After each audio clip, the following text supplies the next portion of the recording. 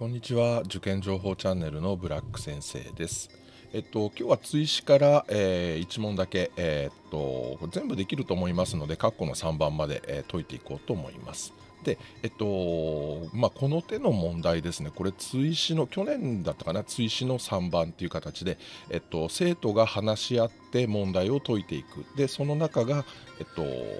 まあ、抜けていてそこに当てはまるものを答えなさいっていう形式の問題です。で近年あのこの手の問題増えていますので、えっと、この手の問題が出てきたらこれは一つチャンスだぞって思えるように、えーしていってください。でもう明日試験なので、えっと、今から何か新しいことができるようになるっていうことはまあないと思いますので、えっとまあ、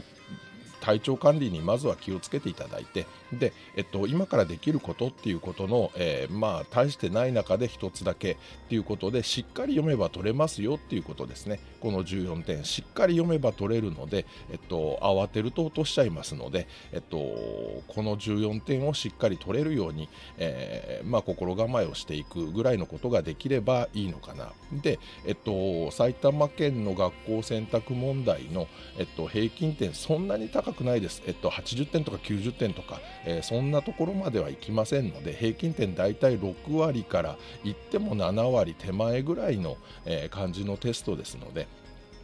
まあ、上位校を狙う子でも、えー、7割以上、えー、8割ぐらい取れていればしっかり勝負になると思いますので、えっと、大門の1番で約50点。で今まで重点的に解説してきた、えっと、2次関数と1次関数を組み合わせるような問題。ここで10点から15点。で、えー、っと今回取り上げるこの手の問題ですね、えー、生徒たちが話し合うような形の問題。ここでもう14、15点取れるとですね、えー、だいぶいい線いくんじゃないの？かなっていう、点数になると思います。で、えー、これプラス、えっと、作図の問題と証明の問題で、えー、部分点を拾えれば80点超えてくるっていう形になりますので、えー、他の科目の出来にもよりますけれども、え上位校でも十分勝負ができる、え点数になってくると思いますので、えじゃあどこに気をつけたらいいの？これボーナスポイントの14点だよって思えるようにするにはどうすればいいの？っていうところをお話ししていこうと思います。で、えっと、しっかり読めばって中学3年生に言っても、えっと、ゆっくり読んじゃう子がいるんですけれども、まあ、ゆっくり読むことがしっかり読むことではないので、えー、そこは注意してください。で、慌てると落とすから慌てないでねっていうと、やっぱりゆっくり読んじゃうんですね。で、えっと、まあ、繰り返しになりますけども、ゆっくり読むことがしっかり読む、慌てないっていうことじゃないですよっていうところのお話を進めていければなと思います。で、えー、じゃあ問題見ていくと、まあ、上から次は A さんと B さんの会話です。これを読んで下の各問いに答えなさいで14点です。で A さんが鍵括弧の中にここですね、えっと、電球型蛍光灯と LED 電球のどちらを購入したらいいかな。で B さんが、えー、次の資料をもとにそれぞれの総費用を購入価格と電気代の合計として比べてみると違いが分かりそうだね。で、えっと、電気代は使用時間に伴って一定の割合で増えるものとして比べてみましょう。で、表っていうか資料があって、で、消費税は考えませんよ。で、電球型の蛍光灯と LED 電球はほぼ同じ明るさですよ。まあ、その辺での違いは考えませんよっていうことですね。で、A さんが1年間使用するとどれぐらい違いがあるのかな。で B さんが仮に1日あたり8時間使用したとすると年間で1年間で2920時間となるから計算しやすいように1年間の使用時間を3000時間にしてみようねっていうんですね。で A さんが1年間を3000時間とすると LED 電球の費用の方が四角あ円多いねっていうところで四角あが問題になってきますじゃあこれ計算しなきゃいけないんだなっていうことですで B さんがそうだね。2つの総費用が等しくなる使用時間は四角い。ここですね。だからそれを超えると LED 電球の方が総費用の LED 電球の総費用の方が安く、えー、少なくなるね。で A さんが6年間使用するとどれぐらい差が出るのかな。で B さんがそれぞれの寿命を考えて6年間総費用を計算してみると LED 電球の総費用の方が四角でまた問題で聞かれるっていうことですね。円安、えー、少なくなるねっていう文章を読まなければいけません。ただテストの時、まあ、今これ全部声を出して読んだんですけれども、えー、っと声を出して読んだにしてもこれほどこれぐらいの時間しか取られないので、えっとまあ、試験中声を出せとは言いませんけれどもこのぐらいの、え、心の中で胸の中で、え、声にして、え、読んだとしてもこの程度の時間ですのでまずは、え読み飛ばさないようにしっかり慌てずに、え自分の中で読んでください。で、えっと、もし残り時間が心配で、えっと、さーっと斜め読みしたいよっていう場合はじゃあどこに気をつけたらいいのかっていうところなんですけれども、えっと四角えー、四角じゃない括弧の1ですね、えー、まあここを斜め読みでさーっと読んできました。あなるほどね、え、蛍光灯と、え LED の電球の、えーと費用比べで資料があってじゃあ、えっと、四角「あ」のところは、えどっちの方が安いのかな高いのかなどっちの方が、えー、かかるお金が多いか少ないかの話をしてるのねぐらいな感じで、えー、斜め読みをしてきてでえっと括弧の1「あ」に当てはまる値を求めなさいじゃあ「あ」って何の話をしてるの ?1 年間を3000時間とすると LED の方が多いよねって言ってるんだから、えっと、LED の方がお金がかかるんだなっっていうところを、えー、ヒントにじゃあ解いていこうって思うんですけれどもここで一番大事になってく,、えー、なってくる用語っていうのがこれです。この総費用っていう言葉です。で、えー、総費用を比べなきゃいけないんだなっていうのが読み取れればん？ちょっと待てよ総費用を比べなきゃいけないんだから総費用ってこの問題の中要はこの四角の、えー、A さんと B さんの話し合いの中では総費用っていうのは一体何のことを言っているのかなっていうところで、えー、元へ戻ってきて斜め読みしていった中で総費用を購入金額購入価格と電気代の合計って言って定義してるわけですよね。なるほどと。でここで購入金額と、えっと、電気代を合計した、えー、金額を総費用って呼んでるんだぞっていうことに気がつきさえすれば、えっと、斜め読みをしてもそれほど問題で大きくつまずくことはないと思います。でこの総費用に気がつかずにあ電気代の話ねぐらいの形でじゃあ電気代の0.24円と0.12円を比べて3000時間で比較するとっていう形。でこの購入金額の方ですね。こちらを、えー、うっかりよそへ忘れてきてしまうと、えー、せっかく拾えるはずだったここの4点。を落としてしまってでさらに行けば、えそのまま突き進んでいっていってしまうと時間ばかりかかってこの14点落としてしまうっていうことになりますので、えっと、何について比べているのか。じゃあその何についてっていうのはこの問題の中ではどういうふうに定義されているのか。この場合だと購入価格と電気代の合計のことを言ってますよっていうところをしっかり読み取れさえすればそれがしっかり読むっていうところにつながっていきますよっていうことですね。で、えっと、まあ、これで、えっと、あが、えー、その金額比べ。で、いに入るのは今度、じゃあ同じになる時間比べ。で、うに入るのは、えっと、6年使用したらどうなるかっていうところまで、えー、これ一気に読んじゃっても構わないと思います。で、えー、一気に読んでしまってああなるほどねそれについて聞いてるのねっていうことでじゃあどういうふうにやっていこうかなっていうことで、え、方針を立てていただいて。で、えーと、計算用紙の隅っこかなんかに、まあ、こんな形のグラフを想定してください。で、えっと、始まりの金額 LED の方は1000円で電球を買ってきて、えー、1000円払ったところからスタートしますよ。で、えー、蛍光灯の場合は400円で電球を買ってきて、えー、400円のところからスタートしますよ。ただ、えっと、LED の方が、えー、かかっていく費用がなだらかになっていきます。で、えっと、蛍光灯の方が電気代がかかるので急坂で登っていきますよ。でどこかで追い抜くっていうお話なのねっていうところ、がまずわかると思います。で、えっと、寿命の話がここで、え、表に載っていますのでそうすると8000時間ごとに電球の方はここですね。プラス400円しなきゃいけないよね。で LED の方はこれ4万時間なので、えー、4万時間ごとに1000、円、プラスしなきゃいけないよね。っていうことになってくると思います。で、えっと、最後の問題が6年って言っているのでじゃあ6年って、え、1日3000時間使うとしたら、えっと、あ1年ですね。1日3000じゃないですね。1年で3000時間使うとしたら6年って何時間なのっていうところを計算してでそうするとサブ68で6年っていうのは1万8000時間だよ。そうすると今回の問題ではここまでの話を聞いてくるんだなっていうところが、えー、まあ、イメージとしてつかめると思います。で、えー、そうすると、えっと、ここで必要になってくるのは LED の方の4万時間ごとにっていうのは、えー、きっと必要ないんだな、まあ、上限で1万8000時間ですので LED はまあ交換することなく、えー、電球が切れることなく、え進んでいくんだな。ですのでこの直線はずっと一定で進んでいきますよ。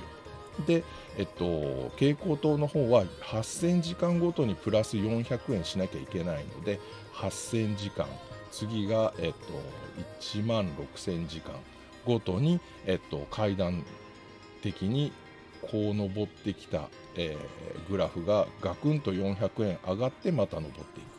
ここでもこう上ってきたグラフがガクンと400円上ってまた上がっていく。っていうイメージなんだなっていうところを掴んでいただいて。そうするとこの8000時間と1万6000時間のところで区切ってあげて考えればいいなっていうことになってくると思います。で、えー、っと、括弧の1番、えっと、あは、えー、3000時間使ったところの比較ですので、当然8000時間よりも手前、この矢印のところですね。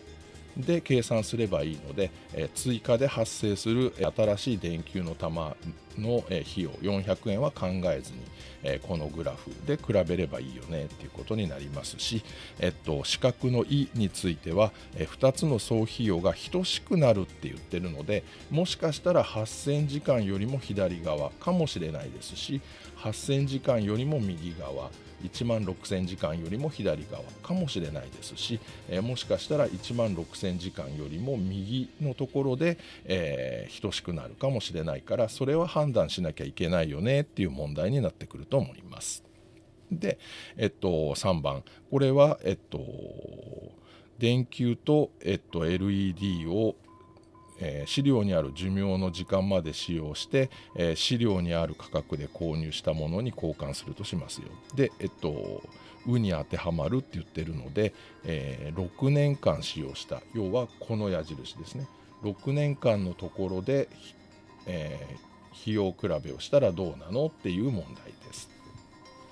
で、えここまで問題が頭の中で整理されると次にじゃあ8000時間までを比べるとしたら式はどうなるのかな？電球の総費用は、えー、0.24円に、使った時間をかけて最初に電球の玉を買った400円を足すんだな。で LED の方は、えー、総費用は、えー、0.12円の電気代が1時間ごとにかかって、えー、最初に電球の玉を買った1000円これがかかるんだな。で電球の玉 LED の方は買えませんのでこれが8000時間から1万6000時間ここになったとしても変わ式は変わらないな。1万6000時間から1万8000時間6年使っても式は変わらない。じゃあ電球の方は式がどう変わるんだろう。8000時間を超えると、えー、新しい電球を追加しなきゃいけないので、えー、プラス800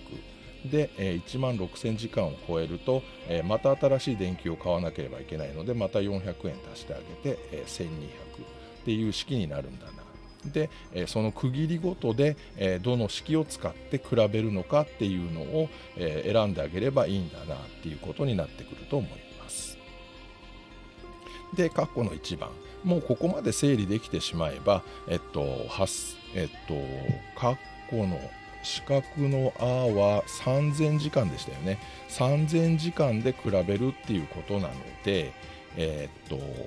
8000時間までの式で、えー、金額比べをすればいいな。で代入してあげると240円違うよ。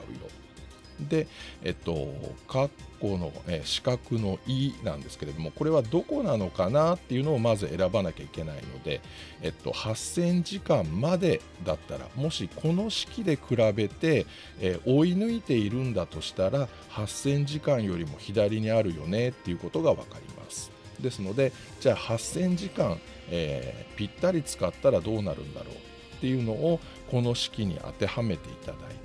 でそうすると、えっと、電気代が2320円。あ電気代じゃないですね、えっと電えー、蛍光灯が2320円。で LED が1960円。でもうすでに、えっと、LED の方が安くなってしまっているので8000時間の区切りよりは左にあるんだなっていうのが分かると思います。そうすると、えっと、先ほどお話ししたこの階段状になるっていうことを考えずにグラフが書けますので、えっとまあ、400円からスタートした蛍光灯がこう上っていくよ。で、えっと、1000円からスタートした LED がなだらかに進んでいくよ。でこの交点を比べればいいよ。ということでこの8000時間の式を、まあ、X と Y の方程式っていう形で、えー、2つ立てていただいて。でこれを連立して解いていただければあ5000時間のところで、えちょうど追い抜くねっていうことがわかると思います。でえっと3番目。えっと3番目は6年間使用したっていうことなので、えー、この式を使わなきゃダメだよねっていうことで。でえっとその式にそれぞれ当てはめていただいてで、えっと、その差額を求めていただければもうあっという間にできるっていうことになります。ですのでこんな形で、えー、しっかり整理をしていただいて、えっと、これはあまり言いたくないことなんですけれども、えー、もし図形の問題が苦手だよっていうお子さんでしたら図形の問題でうんうんうなって、えー、時間を消費してしまうんであればこの手の問題でしっかり整理整頓すること要は作業的な、えー、手間を惜しまずにしっかり整理整頓するっていうことに時間を使っていただいた方が、えっと、点数は取りやすいと思います。で、えっと、ここで、えー、中学3年生の皆さんが一番嫌がることなんですけれどもこれなんですね。括弧の3番の途中の説明も書いてこれが嫌なんですよね。何書けばいいんだよっていうことになってくると思うので、えこれは、えー、せっかく整理をしたこれを書いてください。8000時間までだったら、えー、電電灯、えー、電球型蛍光灯と LED の、えー、金額は、えー、次の式で表すことができるという形でこれを書いてあげてで8000時間から1万6000時間の、え、間の比較は次の式で表すことができる。1万6000時間から1万8000時間の間の場合は、えこの式で表すことができるって書けばそれがもう十分説明になっていますのでそれを書いてで今回6年間なので1万8000時間、え一番左のあ一番右ですね。このこの式をで計算するとって書いていただければそれでもう十分説明になりますのであとは計算式はこんな形で、えー、パパッと書いて答えを求めるだけで十分、えー、満点の点数今回ですと括弧の3は6点ですね。これが取れると思います。ですので、えっと、整理整頓をきちんとすることあとは、えー、この問題の中で出てきた今回でいう総費用っていう用語の意味をしっかりとここで把握しておくことを、えー、注意していただければそれが実はしっかり読めば取れるのしっかりだよ慌てると落とすの慌てるだよっていうところを、えー、理解していただいてで、えー、明日のテストに臨んでください、えー、まずは今日はもうそれほど遅くまで勉強するよりも、えっと、栄養のあるものを食べていただいて、えー、早めにお風呂に入ってさっぱりして、えっと、早めに床についてください。で十分睡眠をとってといっても緊張して眠れないかもしれないですけれども、え目をつぶって、えゆっくり休んでください。で明日の朝、えちょっと早めに目が覚めるかもしれないです。緊張してね。ですので、えーまあ、いつもの気持ちで、えー、試験場に向かっていただいて慌てず騒がず、えー、確実に点数を取ってきてください。応援してますよ。頑張ってきてください、えー、ではまた次の動画でお会いしましょう。さよなら。